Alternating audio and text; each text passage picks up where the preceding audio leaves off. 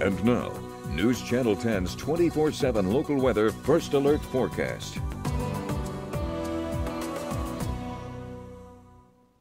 Well, good Wednesday to everybody out there. It is a very calm day today. We'll continue to see calm conditions for the rest of the day.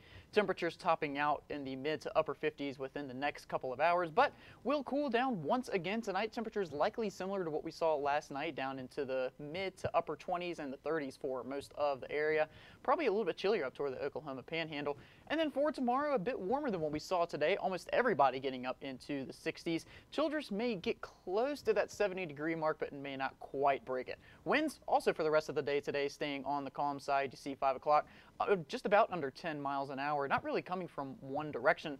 We'll see more of a southeasterly flow take over the region later in the night tonight at about maybe 10 to 15 miles an hour at their peak, but generally speaking about 5 to 10 miles per hour. And the winds may pick up just a little bit tomorrow. I'm going to say again, you know, 10 to 15 miles an hour, still coming out of the southeast. And usually when we see southeast winds in this part of the country, you know, we get that moisture from the Gulf of Mexico and we see our cloud chances and rain chances go up. But unfortunately, it's just been so dry and not really strong enough winds in the next couple of days to bring enough moisture into the area to really give us any good rain chances. So as a whole tomorrow, 65 degrees for a high, some mostly sunny skies. A couple clouds may form, but not expecting any overcast conditions and just more seasonable as well. Our average high for this time of year is right around 71 degrees and obviously no precipitation chance to worry about. So looking at that seven day supercast, like I said, the rest of the day today likely on the calm side and calm over the next couple of days as well. Friday high of 66 degrees for our Good Friday. Sunny skies sticking around.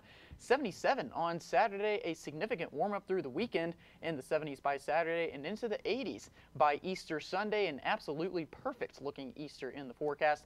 80s, sunny and calm winds as well. And it doesn't look like we'll have any really windy days over the next several days, which we will definitely take in the Texas Panhandle. And looking ahead to next week, there could be a couple days where we inch closer to that 90 degree mark, something we'll definitely keep an eye on through the coming days.